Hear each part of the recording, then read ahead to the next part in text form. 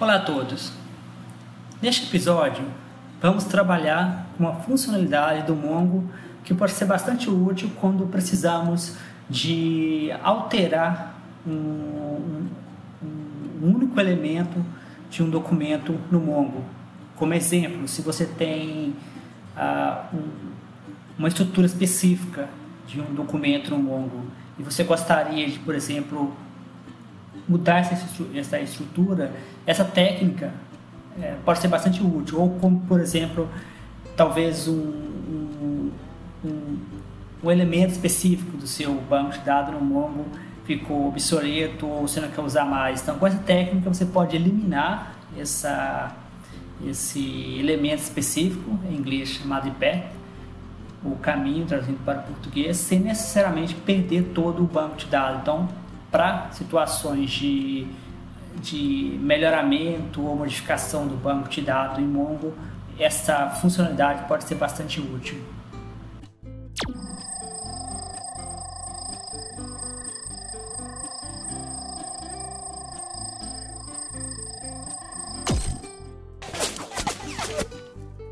Rapidinhas. Aqui você aprende conceitos de programação rapidinho. Então, eu tenho aqui comigo duas versões abertas do aplicativo que eu quero explicar para vocês. Para efeito de didática, eu vou tentar fazer nesse vídeo com vocês o código do zero. Eu vi essa técnica em vários vídeos e achei bastante útil, apesar de que para mim ela é um pouco difícil, porque tem que memorizar ou talvez ter uma boa memória, que não é o meu caso. Mas vamos tentar para questão didática no pior dos cenários, nós temos o código pronto. Então, a primeira coisa que, que precisamos fazer é criar um arquivo. Eu estou usando o Visual, Studio Code. Uh, então, criamos. Criar ele fora aqui. Ó. Vamos criar um arquivo chamado de app.js, ou seja, app um arquivo JS de JavaScript. Ah, nós vamos precisar na parte de cima de alguns imports. vou explicar para vocês basicamente o que são esses imports. Então, o primeiro dele vai ser o Mongo Client. Ah, no entanto, para a gente poder usar isso, a gente vai precisar de instalar o, ah, instalar o Mongo, porque por enquanto não está instalado. É, deve, você deve lembrar, caso você tenha experiência, caso você não tenha, você tem que manter em mente que, que no Mongo você é, o Express, ou seja, no Node, a gente não pode usar Express, que a gente pode usar somente Node. No Node você precisa instalar uh, localmente a maioria dos, uh, dos pacotes. Então, para instalar o Mongo localmente, precisa fazer npm install Mongo.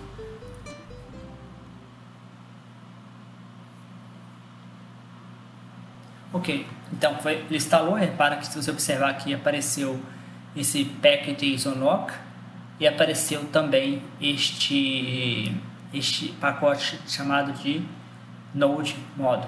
Lembrando que caso você queira jogar esse tipo de somente para efeito de informação quando você for terminar o seu programa, claro que seja um programa maior e mais completo, geralmente você, você ignora esse, esse node modo porque ele é um pacote grande que não tem funcionalidade. Ah, assim, ele não precisa ser levado de um lugar para o outro, ele pode ser instalado em qualquer ponto. Então, para poder usar essa aqui, ele precisa instalar isso. A gente está só pegando o Mongo. Ah, vale ressaltar que estamos usando o Mongo, ah, pode dizer o Mongo a seco, ou seja, o Mongo mesmo.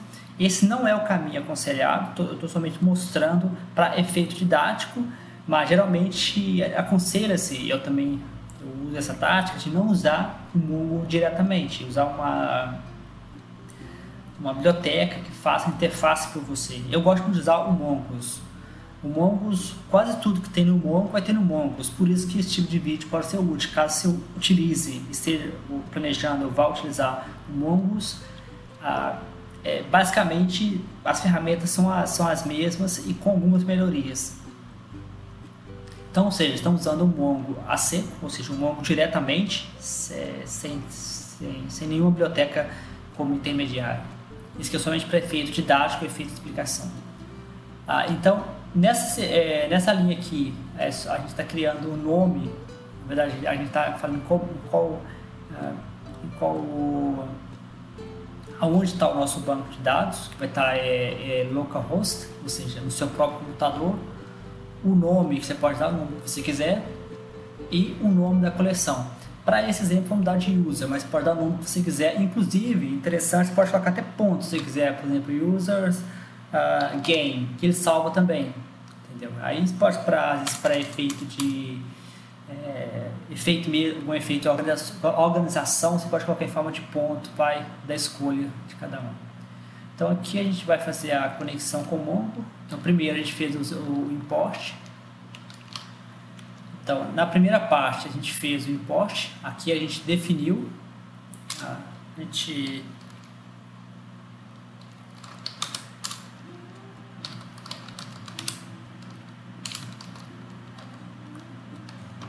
definiu as variáveis, as variáveis que a gente vai precisar. Isso poderia ser colocado diretamente no, na conexão, mas só para efeito mesmo de explicação, efeito mesmo de didática, eu acho legal, até mesmo para efeito de organização no seu programa mais completo, completo se for o caso, com um programa grande, que você mantenha esse tipo de organização. Ah, então, aqui nós temos o, o, o Client, Tá aqui o client. Aqui, repara que ele vem daqui de cima, tá vendo? Esse aqui, esse aqui, ó. Usa o connect, ou seja, o método que já vem dentro dele. O, aqui a gente está compondo o string que vai fazer conexão. Aqui no caso esse dbhost, que é o que é o nome do, do banco de dados. Caso você esteja usando, por exemplo, uma nuvem, como por exemplo o MLab, o Heroku ou qualquer plataforma que não seja o seu computador, você vai ter que olhar na plataforma qual é o link para esse, esse banco de dados. Mas geralmente você vai ter um link e é só você colocar, no lugar de trocar na parte de DB, DB host. DB host você coloca essa, esse host, seja Heroku, seja MLab. Essas, esse, essas opções aqui são é, é mais para evitar de ficar recebendo mensagens, porque o Mongo está sempre atualizando e houve atualização. Então, uh, eu não vou entrar em detalhes, porque não é o objetivo desse vídeo, mas aqui nós estamos, nós estamos tra é, tratando uma promessa, que no JavaScript tem o conceito de promessa. Então, esse then, é, ou seja, depois que terminar isso aqui, ó, acabou isso aqui, ó, aí ele vai entrar aqui dentro e vai receber como entrada um client que é a conexão. Uma vez que você recebeu a conexão, você vai fazer o client DB, ou seja, você vai pegar o, você, é, você vai criar o seu, o seu, seu banco de dados. Lembra que o nome, ah, nós estamos dando o nome de Mongo Cores, pode dar o nome que você quiser. Esse que o seu nome vai aparecer e vai estar aqui, ó. Aqui aqui, tô, só tipo curiosidade, eu estou usando o, o Compass que vem junto com o Mongo. Quando você instala o Mongo, essa interface vem junto.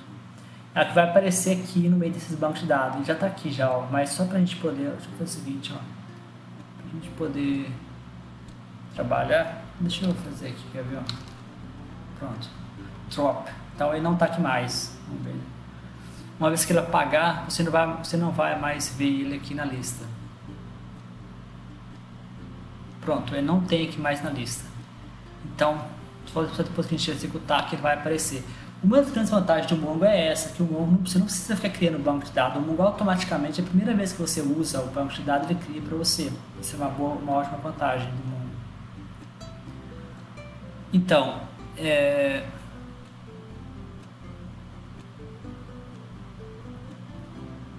Beleza, então, aqui nós fizemos a, o banco de dados, aqui é a coleção, seja, collection, que é, o, que é aquela parte ali do onde seus documentos é, ficarão, seus documentos ficaram guardados.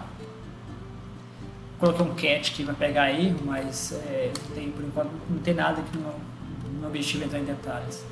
Então eu criei, eu, eu criei aqui um conjunto de funções.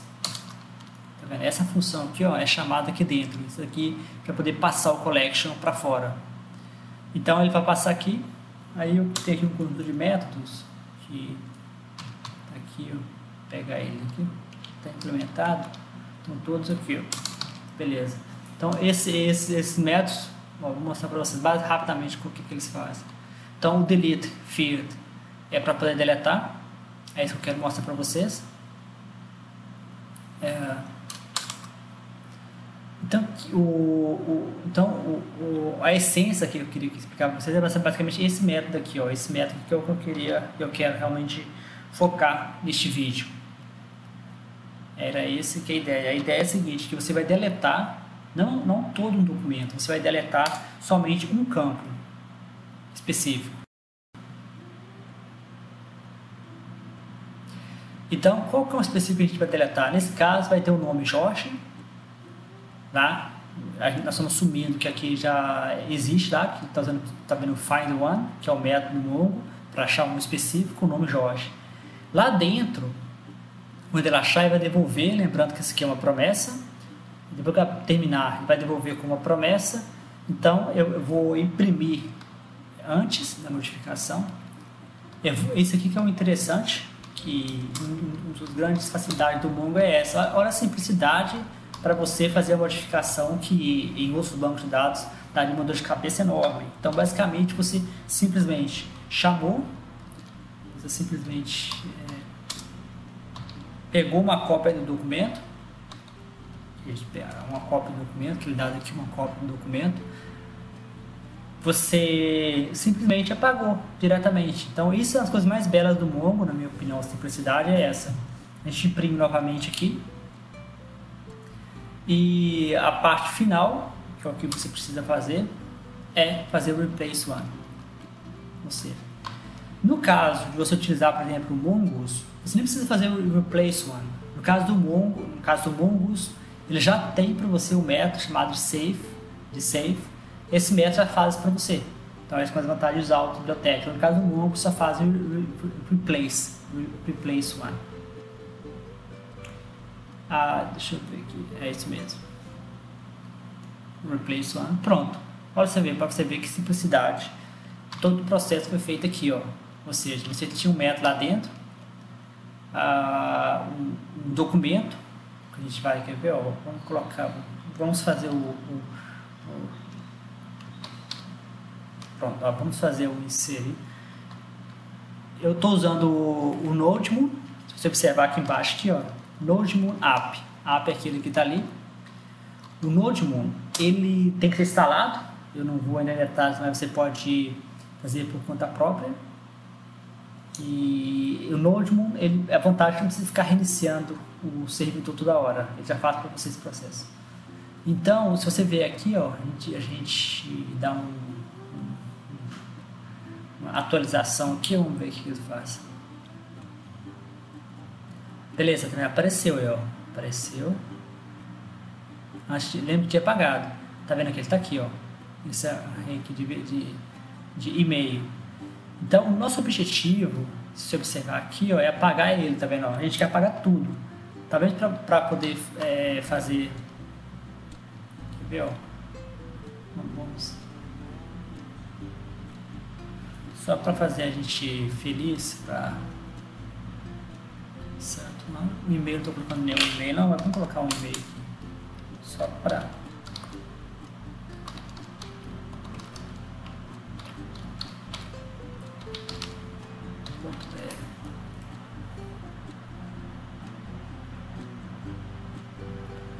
E você voltar aqui, ó. Tá aqui, tá vendo? Então, o nosso objetivo aqui nesse caso, nesse exemplo específico, é deletar não documento. Deletar somente o campo. Você pode ver, se você imprimir, tá se você imprimir aqui, ó, ali você viu usando com peça, que é uma interface gráfica. Aqui você imprimiu diretamente no, na saída. Foi uma impressão direta. Isso aqui como aparece. Ah, então, neste caso, você vai primeiro, nosso objetivo é deletar. Lembra-se que esse método aqui, nosso delete fear, e vai deletar somente o e-mail. O documento tem que ficar intacto.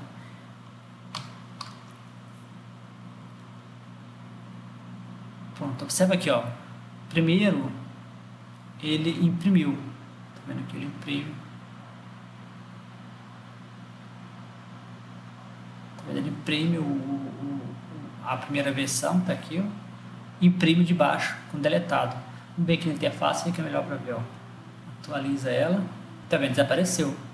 Então isso é bastante interessante, porque essa técnica, ela ajuda, ela faz com que você consiga deletar ou até mesmo é, criar um campo, não vai ser objetivo de vídeo, mas você pode, por exemplo, é, fazer manuseio, por exemplo, de um, de um, de um campo de, de dados específico, por exemplo, talvez você queira pegar um conjunto específico de, de sei lá, um conjunto específico de atributos do seu documento e organizar todos eles dentro de um outro atributo, ou seja, dentro de um subdocumento, dentro de um, de um, de um, de um, de um outro documento dentro de um outro documento, ou seja, um subdocumento. Então, então basicamente, você pode pegar todos esses, esses, é, esses, esses atributos, deletar eles, colocar dentro de um atributo e salvar esse atributo. Ou seja, não vai ser o objetivo desse vídeo, mas isso também é tão fácil quanto esse processo que eu acabei de mostrar.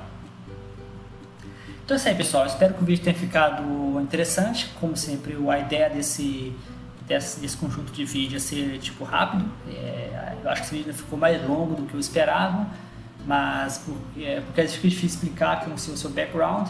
Mas a ideia é explicar conceito bem simples, rápido e sem muita enrolação.